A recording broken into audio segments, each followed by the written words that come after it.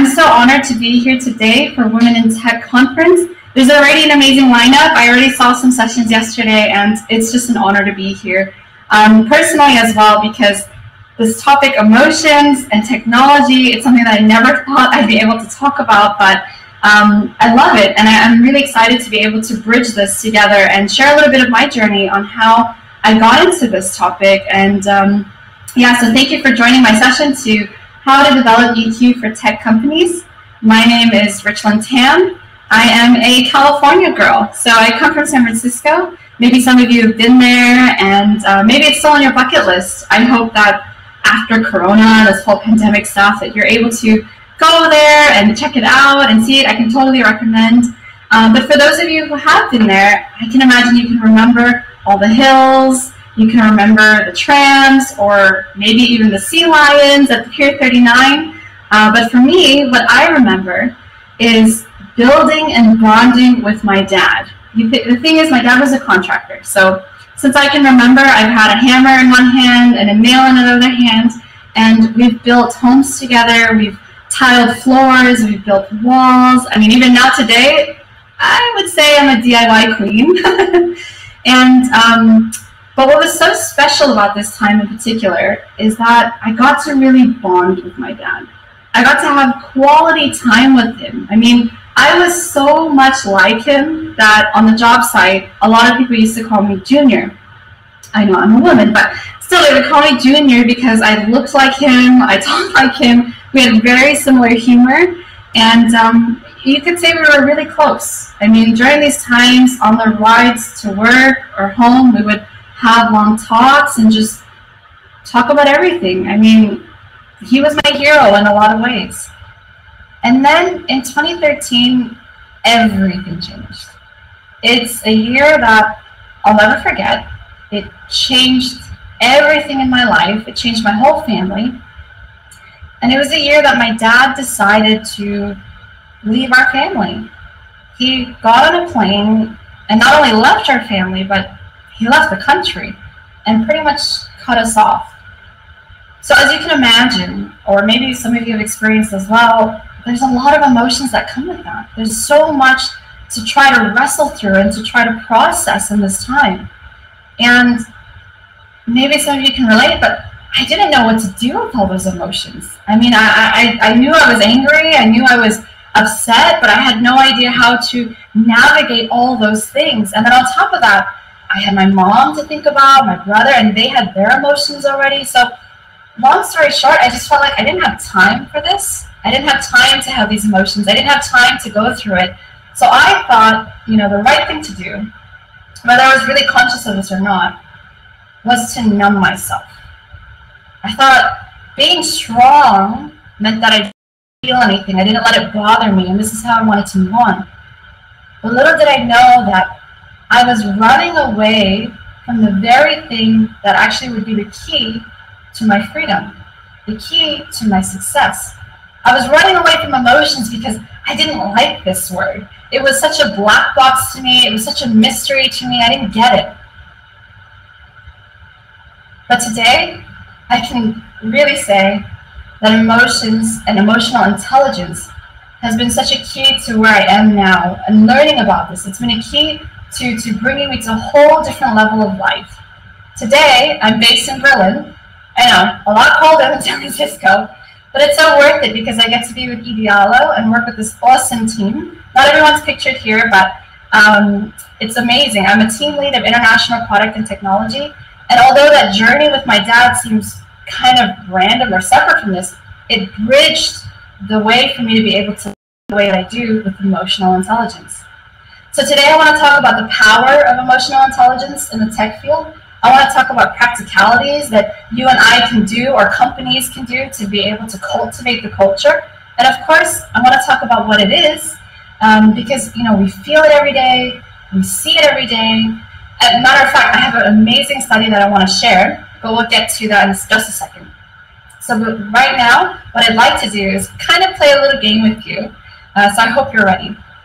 So on this next slide, I'd like for you to just look at this facial expression.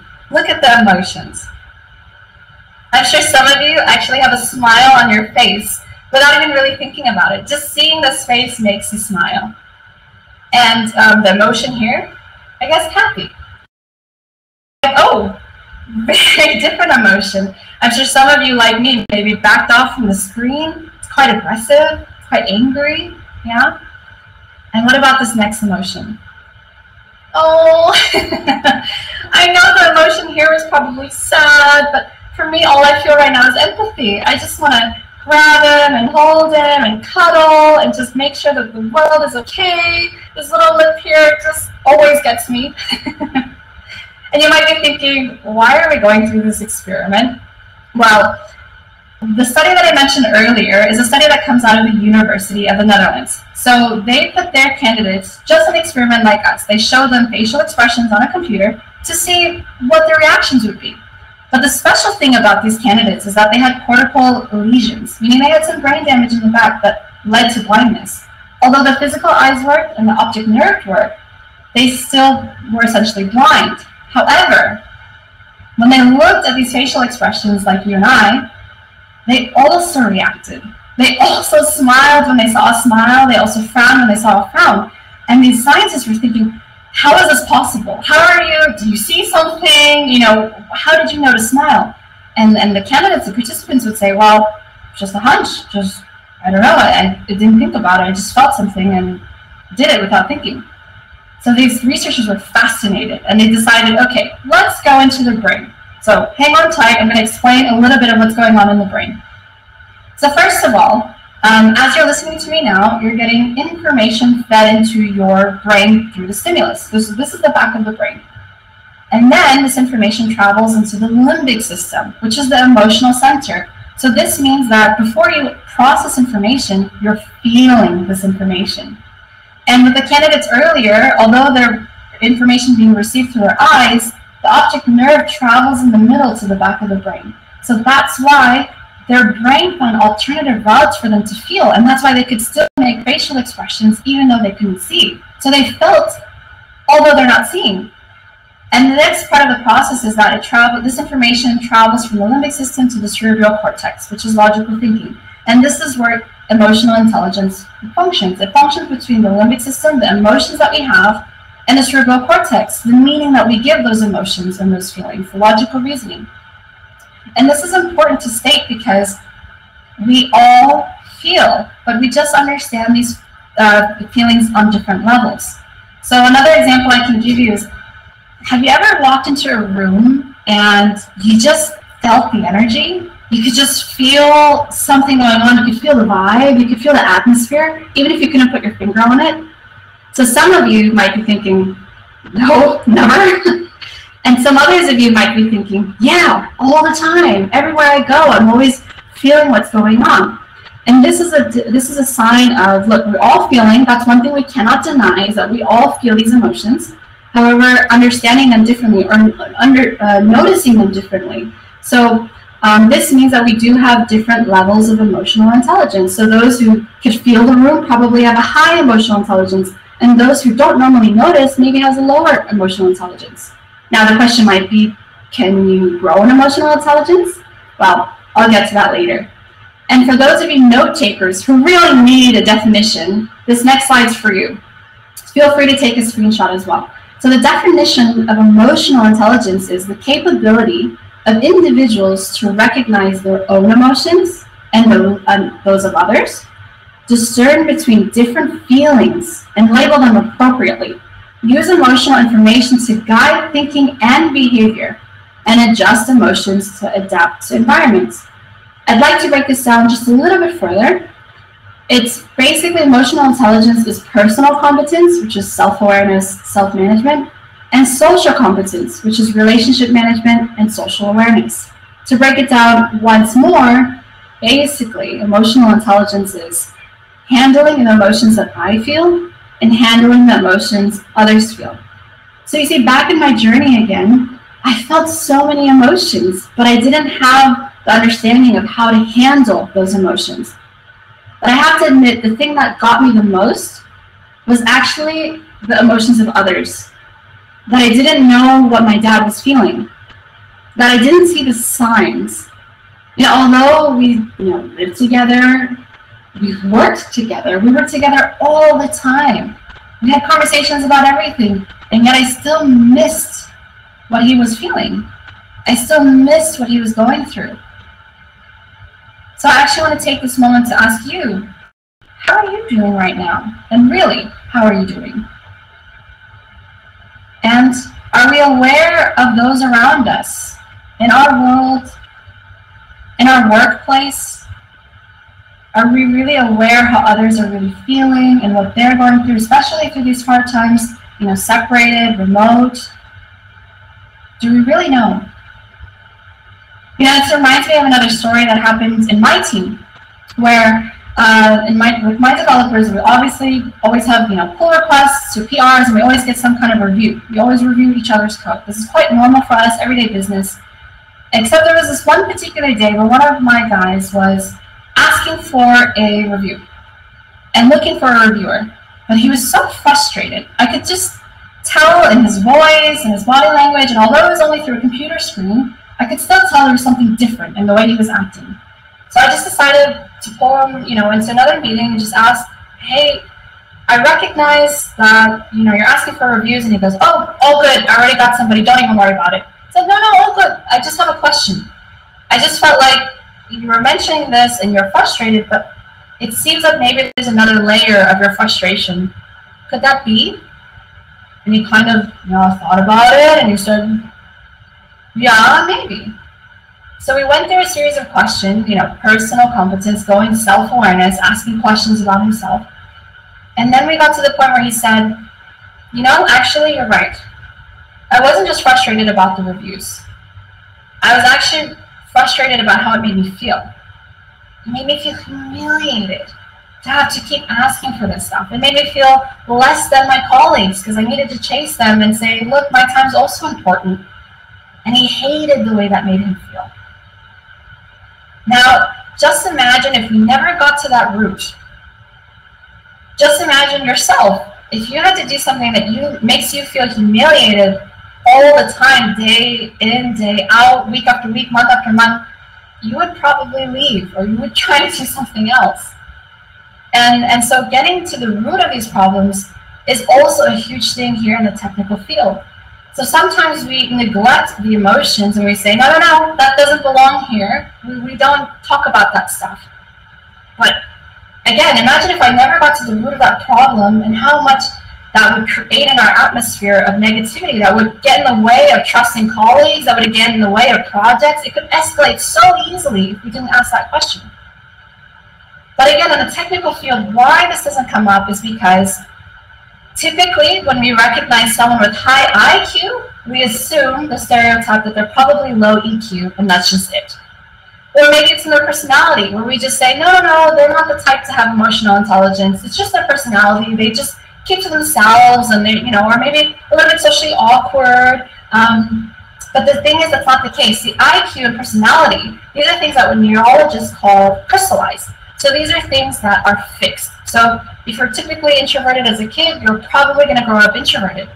However, with EQ, this is what neurologists call um, plastic, or it has plasticity, meaning it can grow. So my question from earlier, we have different levels of understanding, but the great thing is we can grow in our emotional intelligence. Or just like the candidates before who had blindness, they were able to still feel because their brain made alternative routes in order for them to feel.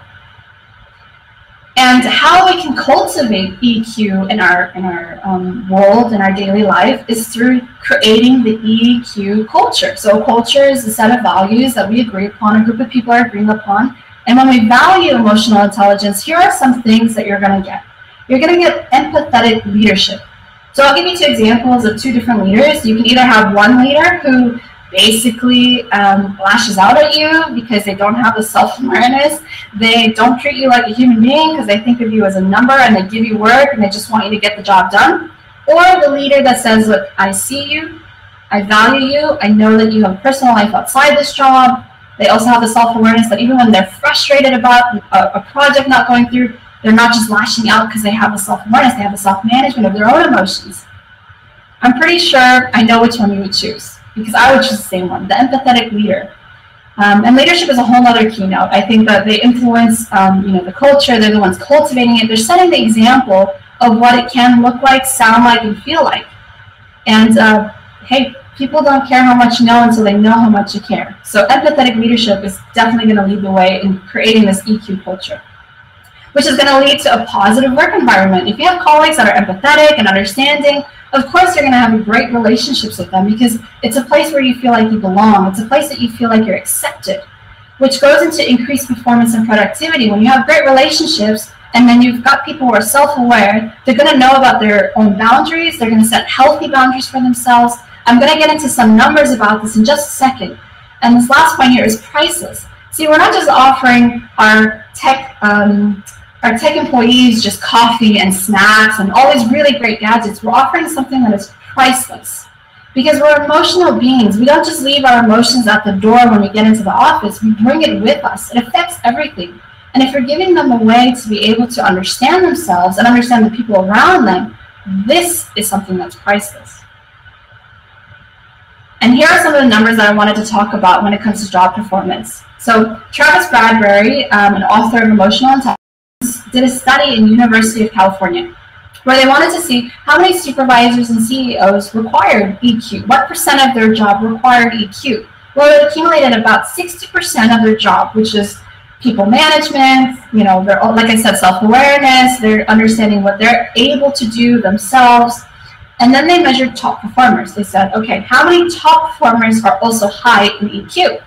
And they attributed to 90% of their people who are top performers were also high in EQ.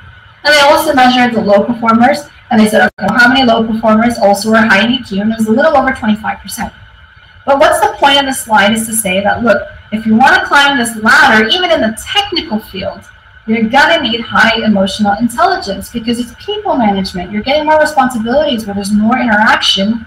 And the more responsibilities you have, look, your emotions are going to flow into everything. It's going to go into how you deal with stress. It's going to deal with, uh, it's going to go into how you speak to people, how empathetic you are, how aware you are of those around you and of yourself. And as we are talking about you at the moment, it starts with you. And these are practical ways that you can increase your own EQ. So my journey, I started also off with reflection. You know, when my father left, I had to reflect on how does this make me feel? And what definition can I give that feeling? And it was my own personal definition. And I encourage you to do the same. You don't have to do this alone. I, I did this with also loved ones. I got in there into the emotions, even though it was kind of a mystery box. I, I got the questions I needed to be asked. And this was also helpful to have a therapist as well to be able to reflect some of those things. And then also getting practical. So I don't know about you, but for me, feelings was something that I just felt like, oh, it's just too, yeah, too, I just understand it. So practicality helped me because I understood emotions as information. So I got practical by, when I say test myself or test yourself, I mean, there's all kinds of resources where you can, uh, you know, understand your personality. You can take an emotional intelligence test as well. Or there's other resources, like I mentioned earlier, Emotion, and Emotional Intelligence by D Travis Bradberry or D Daniel Goleman. Great resources to understand. Or there's all kinds of videos online. Or even the five-day EQ challenge, where you can say, look, Monday I want to do self-reflection. I want to be really conscious of what I'm going to do. Uh, Tuesday can be, I'm going to be really conscious of those around me and really ask the question, you know, how they're doing, get into their world. And speaking of other people, communication is a great way to learn about emotional intelligence because although you can read everything about a bunch of people and how it works and personalities, just asking somebody like, hey, you know, how are you feeling? And what, why? You know, what do you think um, causes that? Or what do you think, why do you think that that is? Um, it's a great way to be able to understand yourself and others. And on another level, how it works in a company what we've been able to do at Idealo, specifically in my team, is first of all, this whole emotional intelligence and emotions only really starts with trust. So personal safety, uh, courage to ask important questions, and honest feedback. What that basically looks like is me and you sitting at a cafe, no distractions around, knowing that whatever you say and whatever I say, we're going to be safe. We're accepted. We can be real. We can be honest. I can ask the important questions, you know, like how are you really doing, what's really going on, and we can have a dialogue. And then there's also practical tools where we did something with um, Gallup Strengths Finder. We gave this test to each of our team members, and we also gave them an individual coaching with the results. So Gallup Strengths Finders is basically a way for you to figure out what are your strengths? What are you good at? Why are you wired the way you're wired? So self-awareness, personal competence. And we gave them coaching to help them understand those results. And then we also did a team coaching. So each of the team were able to vocalize, hey, this is my strength, this is how I'm wired, these are my needs. And this also increased our social competence. So this was another practical tool. There's also 16 personalities. There's a lot of tools that I didn't list on here, but there's so much resources online. And then lastly, examples and opportunities. So remember the empathetic leader that I said earlier, they're going to be the ones setting the examples. Um, and opportunities would look like in our one-on-ones, through coaching, learning paths, or relationship building activities. Again, going to people, real life people, and being able to understand, hey, this is how a relationship works. This is how communication is. This is how it feels to belong. This is how it feels to be accepted. So today we went through quite a lot of topics. We went through what is emotional intelligence, and that's basically handling your own emotions and the emotions of others. We talked about how in the tech field, we sometimes have the stereotype that they're high IQ, meaning a low EQ and they can't grow, but that's totally a lie. That you definitely can grow in your emotional intelligence. We talked about um, how an EQ culture can affect your whole workplace and the benefits of having empathetic leadership, improved um, performance, a positive work environment, and offering something that is priceless. We even got practical and gave some examples for you to reflect, to do practical tools, or to communicate with others. And then we also talked on a company level, what a company can do to offer an EQ culture and increase the emotional intelligence in the room. And to wrap up, I, I'd like to also finish with the fact that, look, if you start this journey, or already have started, I understand that it's not easy. It wasn't easy for me either. To go through what I went through with all the emotions that I had, travel and understand myself, it was hard, but it was so worth it. Seven years later, I was able to reconnect with my dad, and I was able to be empathetic towards him and understand him. But that wasn't easy, like I said. It takes time to be patient, and it takes hard work, but it's so worth it. So I'd like to end with this quote. It's very important to understand that emotional intelligence is not the opposite of intelligence. It's not the triumph of heart over head. It is the unique intersection of both. Dr. David Purcell. So thank you very much for joining my session. I will be at the Idealo booth. You can find us in the expo area. I'm open for question and answer as well there, or just dialogue. I also have a fireside chat on June 10th at 1.50. We'll be talking about how I got into leadership as a tech leader um, we'll talk about you know how to lead teams even if you're not the expert. And lastly, I'd love to connect with you. My LinkedIn is uh, put here below, so feel free to shoot me a message. I'd love to get connected. Again, enjoy the rest of this conference. It's going to be amazing. And thank you very much. Appreciate you.